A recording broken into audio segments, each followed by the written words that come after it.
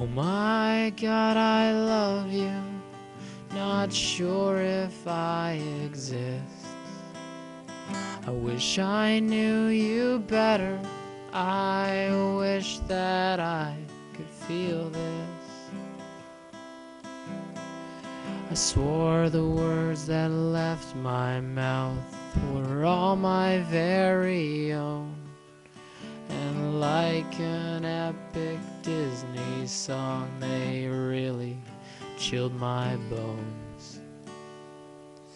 But if I continue the metaphor, becoming more and more cliche, I ought to be all I can be, yeah, and always read and pray.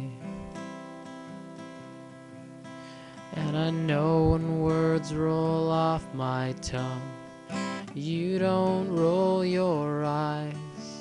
But if you were anybody else, I wouldn't be surprised.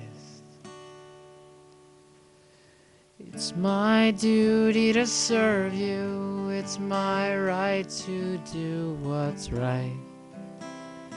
But I can't seem to follow through this apology so trite.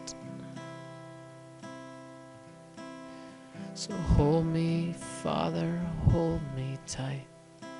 Help me see again. I've been blinded by images and corrupted by a pen.